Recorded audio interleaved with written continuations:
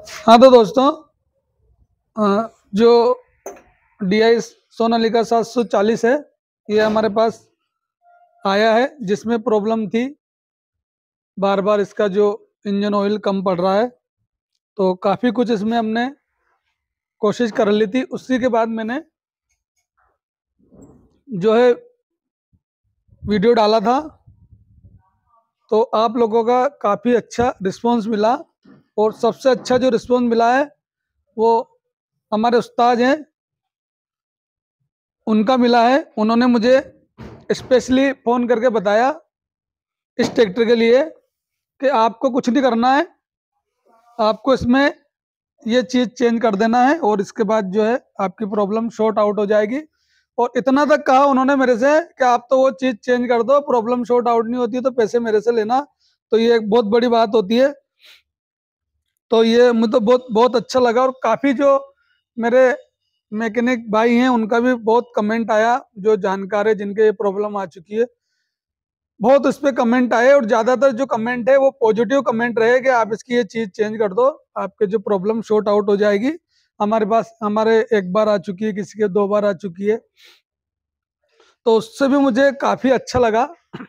अगर मुझे ऐसा पता होता तो मैं बहुत पहले इसकी वीडियो डाल देता, पर मेरी कोशिश ये रहती है, और हर मिस्त्री की कोशिश ये रहती है, कि पहले उसको उसका सारा देख लेना होता है। ऐसा नहीं है कि मैंने इसके लिए सलाह नहीं ली, सलाह भी ली मैंने इसमें, पर जो मैंने सलाह ली, वो ली मैंने मैसी के मैकेनिक के जिनसे, जिससे, जैसे इसमें ये वाला जो इंजन मेसी में भी आता है, उनसे मैंने सलाह ली। और इसका जो हाइड्रोलिक पंप आज हम चेंज करेंगे। उसको मैंने चेक भी किया है। ऐसा नहीं है कि भाई मैंने उसको चेक नहीं किया और डायरेक्ट वीडियो डाल दियो। मैंने उसको खोला भी सही, अभी भी खोलेंगे उसको खोल के। और उसमें किस तरीके से मैंने चेक करा वो भी दिखा देंगे। पर बाकी काफ़ी इसने परेशान करा। फिर जो हमारे उस्ताद है, उनका मैं शुक्रिया अदा करता हूँ। उनको बहुत बहुत धन्यवाद देता हूँ कि उन्होंने मुझे, उन्होंने उधर से फ़ोन लगाया मेरे। मैंने भी फ़ोन नहीं किया, उन्होंने फ़ोन करा। कि शर्मा जी, हम एक परिवार है, आपको मेरे से एक बार बात तो करनी चाहिए थी।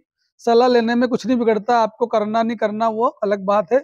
काफ़ी देर तक हमारी बात हुई उनसे। नरेश जी जांगड़ा, उनका यूट्यूब चैनल भी है तो उन्होंने मुझे बताया स्पेशली फ़ोन करके कि आप इसका हाइड्रोलिक पंप चेंज कर दो, आपके जो प्रॉब्लम है, इसकी शॉर्ट आउट हो जाएगी। तो आज ये ट्रैक्टर आया है, काफ़ी दिनों बाद। दूसरे या तीसरे दिन बाद मैंने इसको ट्रैक्टर को रुकवा के हमारे पास ही चलता ट्रैक्टर तो इसको रुकवा के इसकी जो प्रॉब्लम है, हमने देख ली थी कि इसमें जो है क्या चीज़ चेंज होगी। इसका हाइड्रोलिक ऑयल भी चेक कराएँगे आपको कि जो इसका जो ऑयल अभी भी इसमें ऑयल कम है। एक बार वो भी दिखा देते हैं कि इसका जो ऑयल है, अभी भी कम है। तो तीन चार दिन चला होगा ट्रैक्टर, या चार पाँच दिन चला होगा। अभी भी इसमें इस जगह ऑयल है। इसमें यहाँ करा था हमने ऑयल वापस से इसका ऑयल इस जगह जा चुका है। आगे सारा कुछ मैंने अगले वीडियो में बताया हुआ है कि इसमें हमने क्या क्या काम करा था और क्या क्या जो है सारा कुछ इसमें। अभी इसका हाइड्रोलिक पंप मंगवाया हमने। कौन सा पंप लेकर आते हैं वो? वैसे तो हमने उनको बोला है कि डोटी का पंप लेकर आना। तो डोटी भी ओरिजिनल कंपनी है, वो सोना लेकर लाते हैं या डोटी का लाते हैं। तो अब इसको खोलेंगे और किस तरीके से मैंने इसको चेक किया, ऐसा नहीं कि हम, हमने इसको चेक नहीं किया हो चेक भी किया मेरा, मैंने इसको।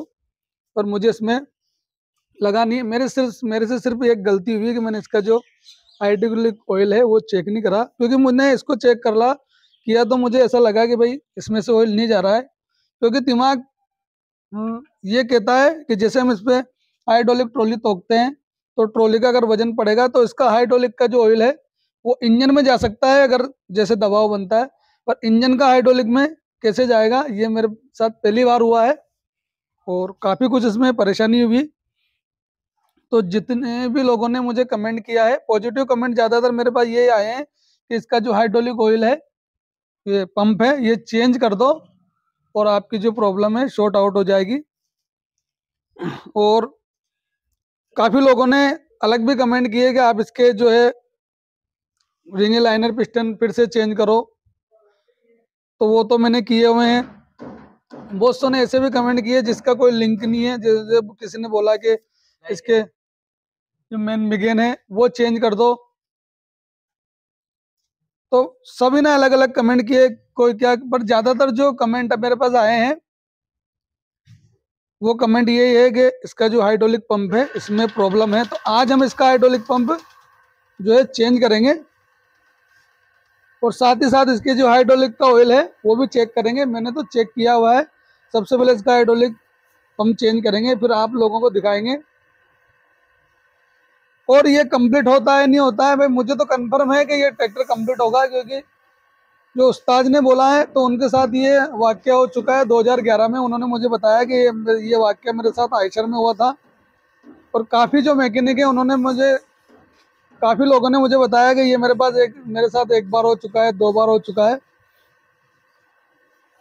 ऐसा नहीं है कि हमने वो पिस्टल लगाओ ऐसा नहीं है कि जो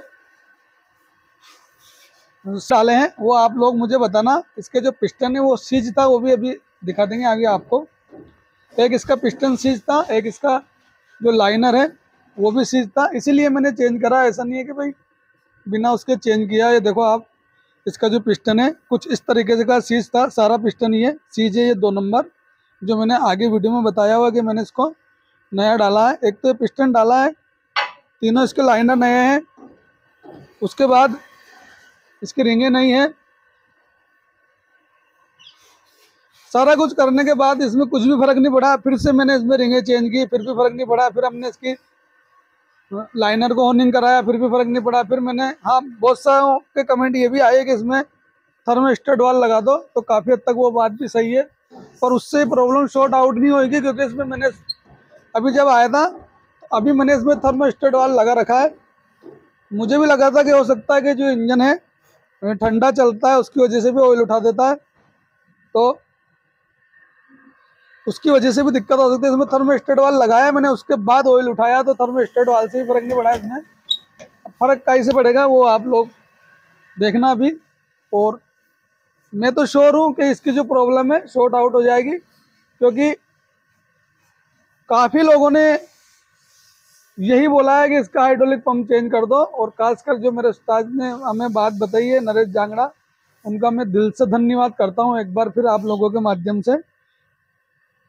बहुत अच्छा लगा मुझे।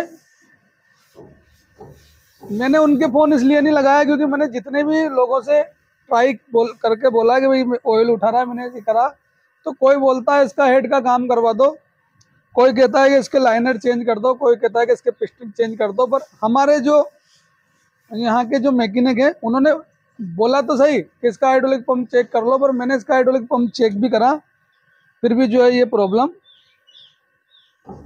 शॉर्ट आउट नहीं हुई। उसके बाद फाइनल में मैंने इसका वीडियो बनाया था। तो इससे अच्छा तो मैं अगर डायरेक्ट उस्ताद के फ़ोन कर लेता तो काफ़ी हद तक मुझे इसमें कामयाबी मिल जाती। पर मैंने सोचा कि अगर फ़ोन भी लगाएँगे, अगर वो भी यही जवाब देंगे कि आप इसका चेंज कर लो तो फिर मैंने कहा, अपन क्या करेंगे? और उन्होंने मुझे ऐसा जवाब दिया जिससे मैं संतुष्ट हो गया। उन्होंने मेरे से बोला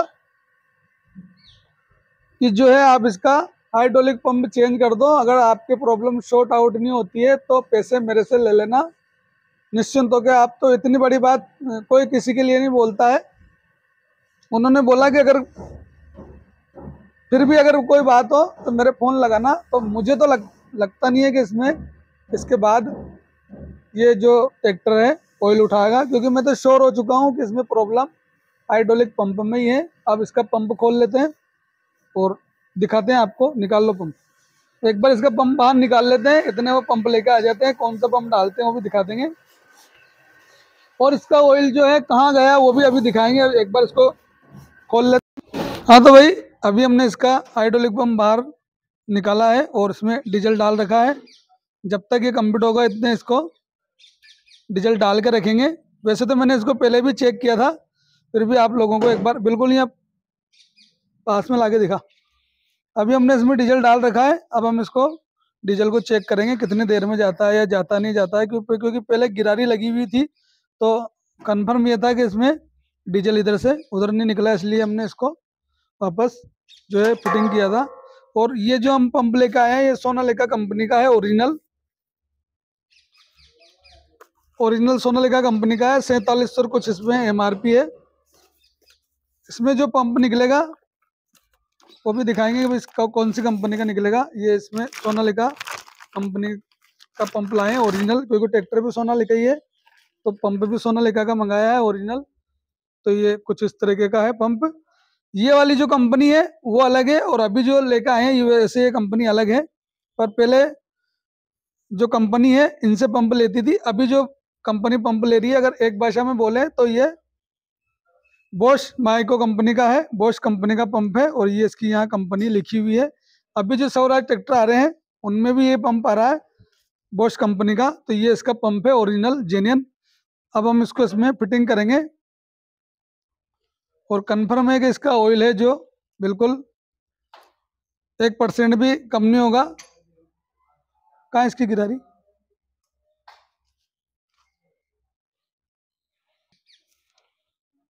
तो कुछ इस तरीके से इसको इसमें लगा देंगे और अभी भी इसमें डीजल वैसा का वैसे ही है। डीजल इसका कम नहीं हुआ है। कंपनी भी मैंने आपको बताई थी और क्या क्या इसमें मैंने किया है।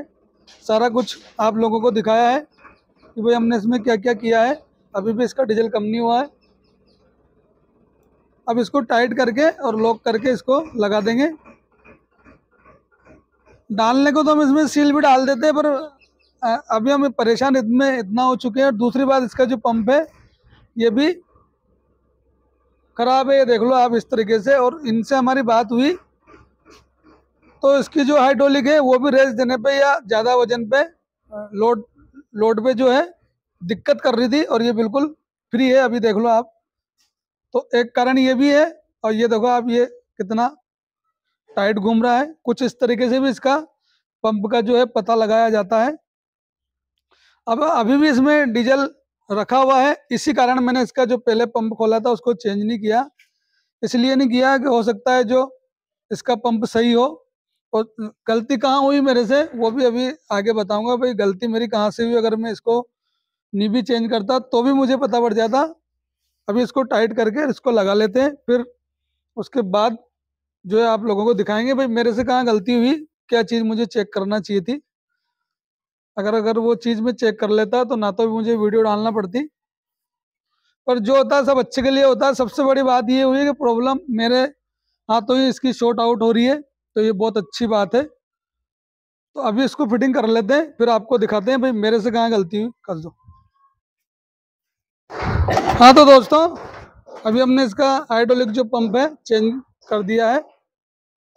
और मेरे से कहाँ गलती हुई, उस विषय पे बात कर लेते हैं। वैसे भाई मेरे से कहाँ गलती हुई, मेरे बुद्धि ने इतना सा काम नहीं करा कि इसका जो हाइड्रोलिक का ऑयल एक बार चेक कर लें। तो अभी आप लोगों के सामने चेक करेंगे। इसमें जो हाइड्रोलिक का ऑयल की लेवल क्या है? थोड़ा सा मेरे दिमाग ने जवाब तो दिया था कि इसका हाइड्रोलिक चेक कर लेते हैं, पर इसमें ऑयल भी इतने ही निकल रहा, पीछे से दिखाओ हाइड्रोलिक में जो ऑयल है, वो भी इतने ही निकल रहा, एक बार, एक मिनट एक मिनट। अब देखो आप, इसमें ऑयल कहाँ है? और ऑयल इसमें कहाँ रहना चाहिए? अब दिखा दो पीछे। एक बार और इसको साफ़ करेंगे, इतने दिखा दो इनको, इसको साफ़ करके और वापस से लगाएँगे। ये इस तरीके का इसमें जगह जगह से इसमें ऑयल भी लीक हो रहा है। तो मेरे हल्के से दिमाग में तो आई थी कि हो सकता है कि इसका जो ऑयल है, पर मैंने इसको चेक नहीं किया बस। थोड़ी सी मेरे किस जगह गलती हुई ले आओ, इधर ले आओ। तो अब हम इसको एक बार फिर से साफ़ करके हमने इसको लगाया है। फिर से अभी चेक करेंगे, आप लोगों को दिखाएँगे। और सबसे अच्छी बात ये रही कि इसमें मेरी प्रॉब्लम ये देखो आप इसमें, कम से भी कम इसमें 10-15 लीटर आयल ज़्यादा है। और आयल भी बिल्कुल साफ़ सुथरा देख लो आप, आयल भी बिल्कुल साफ़ सुथरा है। तो जो, मेरी जो प्रॉब्लम है, ये तो शॉर्ट आउट हो चुकी है। तो एक बार फिर से मैं, जो मेरे उस्ताद है नरेश जांगड़ा, उनका दिल से धन्यवाद करता हूँ और बहुत बहुत उनको, भगवान उनकी उम्र दराज करे, उनको बहुत लंबी उम्र दे। क्योंकि उन्होंने बात मुझे बिल्कुल स्पष्ट बोली कि आप इसका सिर्फ़ हाइड्रोलिक पंप चेंज करना है। और काफ़ी मेरे जो मेरी जो टीम है, जो मेरा जो परिवार है यूट्यूब का, उन्होंने भी मुझे काफ़ी सपोर्ट किया। काफ़ी लोगों ने मेरे से बोला कि आप इसमें कुछ भी मत करो। और ये केस मेरे साथ पहली बार हुआ है, इसलिए मुझे दिक्कत आई। आज दिन तक मेरे साथ ऐसा नहीं हुआ कि मेरे पास ट्रैक्टर आया हो और मैंने उसकी प्रॉब्लम शॉर्ट आउट नहीं करी हो। प्रॉब्लम कोई सी भी हो, चाहे मैंने उसे एक बार खोला हो, दो बार खोला हो हाइड्रोलिक हो, गेयर में, गेयर का भी मैंने एक वीडियो डाला हुआ है। तो आ जाती है प्रॉब्लम है, पर ऐसा नहीं होता है कि मैं हताश होके और ये बोल दूँ कि भाई ये मेरे से नहीं होगा। तो इसमें कुछ इसी तरीके की प्रॉब्लम आई थी। बाकी मैंने आप लोगों को दिखाई दिया कि इसमें ऑयल कितना ज़्यादा हो रहा है। हमारा जो इंजन का ऑयल हाइड्रोलिक में जा रहा था, इसीलिए और हम इसको इंजन इंजन को चेक कर रहे थे। अगर किसी के ये प्रॉब्लम आती है तो ये प्रॉब्लम बिल्कुल क्लियर हो चुकी है क्योंकि यूट्यूब पे भी ऐसा वीडियो डला हुआ नहीं है अभी तक कि मैंने सब कुछ किया, फिर भी इसका जो ऑयल है इंजन का कहाँ जा रहा है। काफ़ी लोगों ने मुझे अच्छा सुझाव दिया, पर यूट्यूब पे वीडियो नहीं था तो एक यूट्यूब पे वीडियो भी डल गया। तो कहने का मतलब ये है कि खोदा पहाड़ और निकला हाइड्रोलिक इसमें पंप बहुत छोटी इसमें बीमारी निकली है। हमें ये आगे ध्यान रखेगी और जब तक मैकेनिक लाइन में रहेंगे, तब तक ये बीमारी हमें ध्यान रहेगी, क्योंकि काफ़ी हम इसमें परेशान हुए हैं। तो वीडियो अगर अच्छा लगा हो तो इसको लाइक करें कमेंट करें शेयर करें। और चैनल पर नए हो तो चैनल को सब्सक्राइब करें। मिलेंगे नेक्स्ट वीडियो में। तब तक के लिए जय हिंद, जय भारत। शॉर्ट बना।